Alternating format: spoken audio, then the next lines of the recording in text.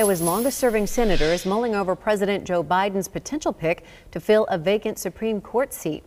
Republican Senator Chuck Grassley and Democratic Senator Dick Durbin met with the president in the Oval Office today. They are on the Senate Judiciary Committee. Biden has promised he will nominate a black woman to fill the seat left behind by retiring Justice Stephen Breyer. Grassley told reporters before the meeting he's reserving all judgment until the president makes an official announcement. The president makes a nomination. That's his privilege and uh, I won't have any comment until I see who he nominates. Biden says he plans to make his decision by the end of the month.